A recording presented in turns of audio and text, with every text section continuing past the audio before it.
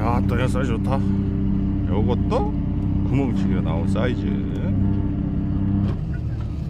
아, 한 30, 한 1, 2 되겠습니다. 물튀기 전에 도망가야지.